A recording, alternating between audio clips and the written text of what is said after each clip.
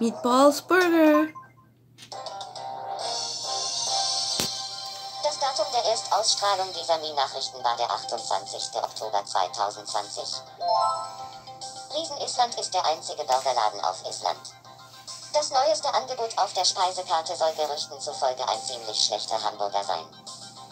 Dieser Burger der wässrigen Frikadellen, seit letztem Monat im Angebot, ein ganz neues Produkt, er enthält eine Spezialität von Island, frische Frikadellen. Die Besitzer von Riesen Island sagten unter Tränen, wir wissen, dass er nicht gut schmeckt, aber probiert ihn doch wenigstens, damit ihr ein Gesprächsthema habt. Wir haben einige Inselbewohner nach ihrer Meinung gefragt. Es scheinen alle Spaß zu haben, da muss ich auch hin.